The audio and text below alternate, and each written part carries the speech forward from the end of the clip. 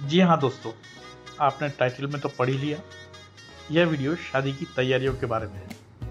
अब हर घर में शादी तो होती ही है, लेकिन जैसे ही शादी फिक्स होती है, कैसे होगा, क्या होगा, क्या करेंगे, कितना खर्चा करेंगे, आदि आदि प्रश्नों से सभी के मानस उलझ जाते हैं। आजकल के बदलते हुए तौर तरीके और लिमिटेड बजट के होते ये परेशानियाँ और बढ़ जाती हैं। दूल्हा दुल्हन के ख्यालों से लेकर सामाजिक रीति रिवाजों का ख्याल रखना अब कोई आसान काम नहीं रह गया है। और ऊपर से समय कम हो तो बस सब परेशान हो जाते हैं। तो दोस्तों, इन्हीं सब समस्याओं से निदान पाने के लिए मोमेंट्स ऑफ़ जॉय चैनल लाई है एक अनोखी गाइड जो शादी की तैयारी के बारे में पूरी जानकारी देगी। और तो और दोस्तों, इसमें टेम्पलेट्स भी दिए गए हैं, जिसमें सिर्फ़ तैयारी के लिए आपको मात्र अपना डाटा एक्सेल या गूगल शीट में भरना है। आजकल वेडिंग प्लानर की भी सेवाएँ लिया जाना शुरू कर दिया गया है। लेकिन उसको भी आपको यही सूचनाएँ देनी पड़ती हैं। तो क्यों नहीं हम इतनी मेहनत अपने लिए ही करें और शादी की तैयारियाँ अपने आप से करें? आप इन टेम्पलेट्स को अपनी रीति रिवाजों एवं आवश्यकताओं को देखते हुए मॉडिफाई भी कर सकते हैं और करनी भी चाहिए। तो आइए देखते हैं शादी की तैयारियाँ कैसे करें। तो मित्रों, बात पक्की होते ही सबसे पहला काम होता है शादी की तारीख फिक्स करना। आप इसमें ये ध्यान रखें कि वो सभी के लिए कन्वीनियंट डेट हो और आजकल बच्चों के एग्ज़ाम्स और लोगों की वर्किंग टेंडेंसीज को देखते हुए वीकेंड्स को भी लोग पसंद करने लगे हैं। साथ ही साथ आप ये भी देखें कि आप जिस इलाके से, जिस एरिया से शादी करना चाहते हैं, वहाँ पे कोई दूसरा मेजर फ़ंक्शन नहीं हो। जैसे ही ये डेट फिक्स हो जाती है तुरंत ही आप सेव द डेट का मैसेज सभी ईस्ट मिस्त्रों को और अपने रिश्तेदार को भेज दें। इसके पश्चात वेन्यू पर आपको ध्यान देना चाहिए। यदि आप डेस्टिनेशन वेडिंग कर रहे हैं तो उसकी लोकेशन कहाँ पर है? लोगों को कितनी कन्वीनियंट है? उसकी कनेक्टिविटी कैसी है? फैसिलिटीज़ कैसी उपलब्ध है वहाँ पर? क्लाइमेट वहाँ का कैसा है? इन सभी बिंदुओं पर आपको ध्यान देना चाहिए। साथ ही साथ आपको ये भी देखना चाहिए कि वहाँ कितने होटल हैं और एक्स्ट्रा रूम्स वगैरह की ज़रूरत पड़े तो वो भी आपको उपलब्ध होने चाहिए। ऐसे ही आपको और दूसरी वेन्यूज़ के लिए जो कि आप लोकल शादी करें तो उसकी कैपेसिटी आपको देखनी चाहिए। अवेलेबिलिटी ऑफ़ रूम्स को देखना चाहिए। किचन की फैसिलिटी कैटर के साथ मिलकर देखनी चाहिए। पावर की सुविधा क्या है, वो भी आप सबको देखनी चाहिए। शादी के अंदर सबसे महत्वपूर्ण काम है मेहमानों की लिस्ट बनाना। मैंने जो आपको यहाँ पर जो लिस्ट दी है, उसमें आपको नाम एंटर करना है, जिस भी व्यक्ति को बुलाना चाहते हैं आप, उसको कौन अपनी फैमिली में से बुला रहा है, उनसे उनका क्या रिलेशन है, वो कहाँ से आ रहे हैं, और उनकी एक्सपेक्टेशन कौन से फ़ंक्शन में आपको है। यदि वो फ़ंक्शन एक फ़ंक्शन में आएँगे, दो फ़ंक्शन में आएँगे तो आप उसी हिसाब से उसमें आप उनका एस्टिमेट नंबर ऑफ़ पर्सनस का लगाइए। साथ ही साथ उनको कौन से होटल में ठहराएँगे या जहाँ आप शादी कर रहे हैं, उस जगह पे ठहराएँगे, उसका रूम नंबर भी आपको देना चाहिए। मित्रों, अब ये जो आपको टेम्पलेट दिखा रहे हैं, इसमें प्रोग्राम्स फ़ंक्शंस और सेरेमनीज जो सामान्यतः सभी शादी में होती है, उनकी लिस्ट दी गई है। जैसे कि एंगेजमेंट गणेश निमंत्रण, देव दर्शन, संगीत, मायरा या भात जिसको कहते हैं, मेहंदी, हल्दी थीम पार्टीज़ और जो मेन शादी का दिन होता है वेडिंग मेन वेडिंग रिसेप्शन और आजकल प्री और पोस्ट वेडिंग के कई सेरेमनीज जुड़ने लगे हैं। तो वो ये सारे फ़ंक्शंस एक शादी में होते हैं। शादी के अंदर दूल्हा दुल्हन के लिए ये महत्वपूर्ण है कि वो अपना प्री वेडिंग शूट अच्छे से प्लान कर लें और उसके लिए फोटोग्राफर और वीडियोग्राफर को उसी तरीके की तैयारी करने के लिए कहें। दूल्हा दुल्हन के लिए हनीमून प्लानिंग भी अभी इम्पोर्टेंट हो गया है। तो उसके लिए पहले से ही रिजर्वेशन होटल और फ्लाइट्स या ट्रेन का ज़रूर से करवा लें। मेहमानों की लिस्ट तैयार होने के पश्चात महत्वपूर्ण काम है कि उनको इनविटेशन कार्ड भेजना। आजकल ई इनवाइट जैसे कि आप व्हाट्सएप कार्ड कहते हैं या मेल से कार्ड कहते हैं, वो भेजना चलन में है। तो आप अपने गेस्ट्स को जिस जिस भी प्रोग्राम में बुलाना है, उसके हिसाब से ई इनवाइट ज़रूर भेजें। कुछ प्रिंटेड कार्ड्स भी बनवा सकते हैं, ताकि जो क्लोज फ्रेंड्स हैं या क्लोज रिलेटिव्स हैं, जिनको आप प्रिंटेड कार्ड्स देना पसंद करें, उनके लिए ये कार्ड छपाकर उनको समय रहते ज़रूर भिजवाना या आग्रह करना उचित होगा। मित्रों, शादी में सबसे महत्वपूर्ण होते हैं वेंडर्स शादी के अंदर बहुत सारे वेंडर्स काम करते हैं। और उनमें कोऑर्डिनेशन बहुत ज़रूरी होता है। यदि आप वेडिंग प्लानर की सेवाएँ ले रहे हैं तो भी ये वेंडर्स आपके लिए काम करेंगे। बस आपका फ़ायदा इतना होता है वेडिंग प्लानर के साथ काम करने का कि इन वेंडर से आपको डायरेक्ट उलझना नहीं पड़ता उसकी जिम्मेवारी सारी वेडिंग प्लानर को होगी मैं यहाँ पर आपको एक लिस्ट दे रहा हूँ, जो वेंडर्स आपकी शादी के अंदर संभवतया काम करेंगे। जैसे कि डेकोरेटर है वेन्यू ओनर है टेंटेज वाले हैं इलेक्ट्रीशियन है ट्रैवल एंड ट्रांसपोर्ट है कोरियोग्राफर है मेहंदी वाला है इस तरीके से ये लिस्ट आपको इस टेम्पलेट में मिल जाएगी। मित्रों जहाँ मैंने आपको वेंडर्स की लिस्ट दी है अब मैं आपको वेंडर्स की वो चीज़ें बताऊँगा वो डिस्कशंस बताऊँगा जो उनके साथ आपको करने हैं।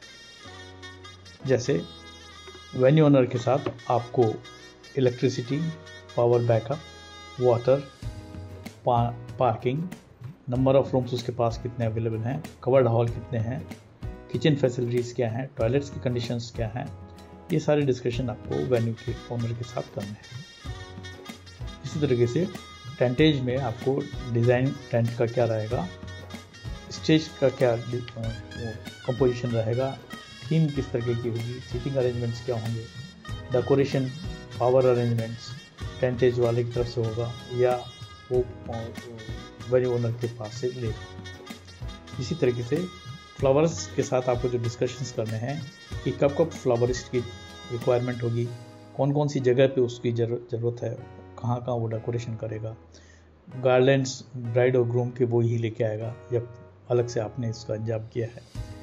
कैटर जो सबसे ज़्यादा महत्वपूर्ण है वो है उसके साथ मेनू का डिस्कशन नंबर ऑफ़ पर्सनस जो अलग अलग समय पे अलग अलग ओकेजन पे आपके पास आएँगे। उनकी क्वालिटी ऑफ़ सर्विस क्या रहेगी वेटर्स कैसे ड्रेसअप होंगे, उनकी सर्विसेज़ कैसी होंगी, खाने के लिए बुफे में अरेंजमेंट होगा, या सीटिंग अरेंजमेंट किस तरीके का होगा क्रॉकरी की क्वालिटी क्या होगी ब्राइड और रूम के लिए अरेंजमेंट्स क्या होंगे, ये सारे डिस्कशंस आपको कैटर के साथ होंगे। इसी तरीके से फोटोग्राफर और वीडियोग्राफर के साथ भी आपको डिस्कशंस करने पड़ेंगे। जिसमें नंबर ऑफ़ कैमरामैन कितने आएँगे वीडियोग्राफर्स कितने होंगे, कितने वीडियो कैमरा लगेंगे, कितने ड्रोन लगेंगे, और किस किस ओकेज़न पर लगेंगे। इन सब लोगों को आप अपने इम्पोर्टेंट गेस्ट्स और रिलेटिव्स फ्रेंड्स के से भी पहले से ही इंट्रोड्यूस करा दें तो बेहतर। इंट्रोड्यूस से मेरा मतलब उनके बारे में जानकारी दे दें आप उनको तो वो बहुत ही बेहतर होता है। मैं आपको यहाँ सबसे इम्पोर्टेंट बात बता दूँ कि इन सब लोगों से कॉस्टिंग की बात करनी है और जो सबसे ज़रूरी चीज़ है कि आपस में एक दूसरे से इनको वेंडर्स को कई चीज़ों की ज़रूरत पड़ती है। तो वो उनकी रिक्वायरमेंट यदि एक दूसरे वेंडर्स के साथ है, वो भी आपको अभी से ही आइडेंटिफाई करनी पड़ेगी। या उस पर्टिकुलर वेंडर की कोई स्पेसिफिक रिक्वायरमेंट है, वो भी आपको आइडेंटिफाई करनी पड़ेगी। इसी तरीके से एंटरटेनमेंट के लिए भी आपको उसकी क्वालिटी क्या कंपोजिशन ऑफ़ म्यूज़िक होगा, क्या एंटरटेनमेंट के प्रोग्राम्स रखे हैं। यदि आप कोई बाहर का ग्रुप बुला रहे हैं तो वो क्या आइटम्स लेके आएगा। वो इस तरीके की सारी चीज़ें आपको एंटरटेनमेंट में डिस्कस करनी पड़ेंगी। ट्रैवल एंड ट्रांसपोर्ट में भी आपको टैक्सी किसके साथ अवेलेबल होगी वैले सर्विस अवेलेबल होगी या नहीं होगी गेस्ट्स को लिए टैक्सी कहाँ से आएँगी, कैसे उनको पिकअप किया जाएगा एयरपोर्ट से रेलवे स्टेशन से। कोरियोग्राफर यदि आप अपना खुद का संगीत प्रोग्राम बना रहे हैं तो संगीत के लिए सारे मेंबर्स की प्रैक्टिस कब कब होगी, किस जगह पे होगी, और कोरियोग्राफर कब कब आएगा और वो एंकरिंग खुद करेगा या आपके फैमिली में से या आपके फ्रेंड्स में से कोई एंकरिंग करेगा। डीजे की अवेलेबिलिटी वो खुद इंश्योर करेगा। डीजे की क्वालिटी कैसी होगी? ये सारे चीज़ें आपको कोरियोग्राफर से लेनी पड़ेंगी। ब्यूटिशियन और पार्लर जो सबसे महत्वपूर्ण है, जिसकी वजह से कई बार प्रोग्राम्स में डिले भी हो जाता है। आप इंश्योर करें कि ब्यूटिशियन और पार्लर या तो नज़दीक में हो क्योंकि दूल्हा दुल्हन दुल्हन को खासतौर से आने में विलम्ब हो जाता है क्योंकि वो सीधे वहीं से तैयार होकर आती है। ट्रैफ़िक जाम्स में वो फंस जाते हैं। तो या तो दूर है तो आप उसी वेन्यू पे ही उसका अरेंजमेंट करें। यदि नज़दीक हैं तो इंश्योर कर लें कि पहले से ही आ, सब चीज़ें तैयार हों। ब्यूटिशंस की सर्विसेज़ आपके घर के और कौन कौन से मेंबर्स को ज़रूरत पड़ेगी उसको भी बताना पड़ेगा। और आजकल चूँकि पार्लर और ब्यूटिशंस की सेवाएँ बहुत पहले से शुरू हो जाती हैं तो वो भी आपको उनका टाइम टेबल देखना पड़ेगा। इसी तरह से मेहंदी वालों का भी प्रोग्राम होता है। मेहंदी वाले कितने लोग आएँगे, कितने लोग आपके यहाँ मेहंदी लगवाएँगे तो उन सब का इंतज़ाम भी आपको पहले से ही देखना पड़ेगा। तो मित्रों, ये सारे वेंडर्स के साथ जो डिस्कशन है, वो बहुत इंपॉर्टेंट होते हैं। और यदि आपने इन लोगों को सफिशेंट टाइम दे दिया तो मैं आपको विश्वास दिलाता हूँ कि वेंडर्स कोई आपको परेशान नहीं करेगा और आपका प्रोग्राम बहुत ही सक्सेस के साथ पूरा होगा। शादी में एक और महत्वपूर्ण काम होता है, वो है शॉपिंग लिस्ट शॉपिंग में बहुत समय लगता है और उसकी तैयारी बहुत पहले से ही कर ली जाती है। मैंने इस लिस्ट को तीन प्रमुख भागों में बांटा है। पहला ब्राइड और ग्रूम, जैसा भी आपके घर में जिसकी भी शादी हो। दूसरा, फैमिली मेंबर्स और तीसरा, अन्य लोग। इनके लिए सभी आपको कपड़ों की तैयारी करनी पड़ेगी, ज्वेलरी के लिए, कॉस्मेटिक्स हैं, फुटवेयर हैं, या और किसी भी तरीके की जो भी आपको आवश्यकता हो, उसकी आपको तैयारी करनी पड़ेगी। शॉपिंग लिस्ट का दूसरा हिस्सा है gifts for near and dear. अपने समाज में ये बहुत प्रचलन में है कि न केवल अपने सारे मित्रों को आप गिफ्ट देना चाहते हैं, बल्कि जो सगे संबंधी दूसरी तरफ़ के हैं, उनके लिए भी आप गिफ्ट्स लेते हैं। मित्रों, शादी में सबसे महत्वपूर्ण होता है वेडिंग बजट। और हर व्यक्ति अपने बजट के अनुसार काम करता है, भले ही कितना ही रईस हो और कितना ही मिडिल क्लास या गरीब आदमी। इसके लिए आपको सबसे महत्वपूर्ण काम है कि शादी की डेट जो फिक्स करें, उसमें आप वेडिंग सीज़न का मेन जो डेट्स होती हैं, उनको अवॉइड करें ताकि आपकी जो कॉस्ट है वो कम हो जाएगी वेडिंग सीज़न में अधिकतर सभी चीज़ों के दाम बढ़ जाते हैं, वेन्यू के भी दाम बहुत ज़्यादा बढ़ जाते हैं। बजट बनाने के लिए मैंने सारे आइटम्स की लिस्टिंग तैयार की है, जिसको दो हिस्सों में बांटा गया है, बजट पार्ट वन और बजट पार्ट टू। इसमें मैंने मोस्टली जो आइटम लिस्ट किए हैं, उन पे आप अपना एस्टिमेट लगा लें, हर आइटम का एस्टिमेट लगा लें कि कितना खर्चा आपको करना है टेंटेटिवली और उसके बाद जैसे जैसे उनमें खर्चा होता जाए, उनको रिव्यू भी करते जाए। सबसे बड़ी बात यह है कि आप यदि रिव्यू बराबर करते रहेंगे तो कहाँ पे आपका ज़्यादा खर्चा हो गया, कहाँ पे कम खर्चा हुआ है, उसके हिसाब से आप उसको रिव्यू करके और एडजस्ट भी कर सकते हैं।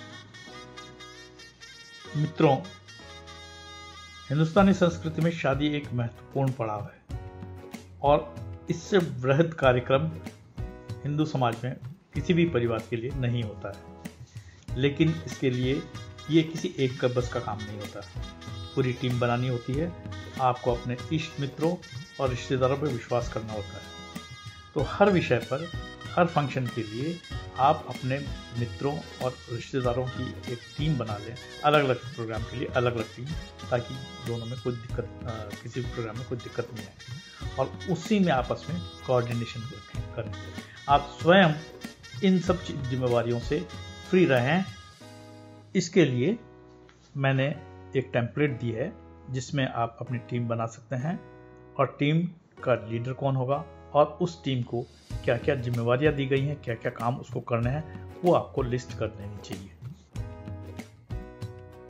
आखिर में मित्रों, मैं सबसे महत्वपूर्ण बात बताने जा रहा हूँ, वो है कि शादी के सभी प्रमुख कार्यक्रमों के लिए ब्राइड और रूम दुल्हा और दुल्हन को ज़रूर से शामिल करना चाहिए, क्योंकि आजकल उनका सेब बहुत इंपॉर्टेंट हो गया है। दूसरा ये कि बजट की आप कंटिन्यूस मॉनिटरिंग करें, उसको रिव्यू करते रहें और जहाँ जिस मद में आपका कम खर्चा हुआ या किसी में ज़्यादा हो गया, उसको आप एडजस्ट करते रहें।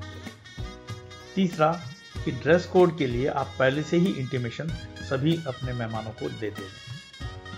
चौथा कि हर व्यक्ति हर इवेंट के लिए, हर फ़ंक्शन के लिए कॉन्टैक्ट नाम और नंबर सभी को पता होना चाहिए। इसके अलावा एक सबसे महत्वपूर्ण है कि आप आजकल जब भी किसी भी शादी में जाते हैं तो नए नए आइडियाज़ आपको देखने को मिलते हैं। ये नए नए आइडियाज़ आपको गूगल पे भी देखने को मिलते हैं।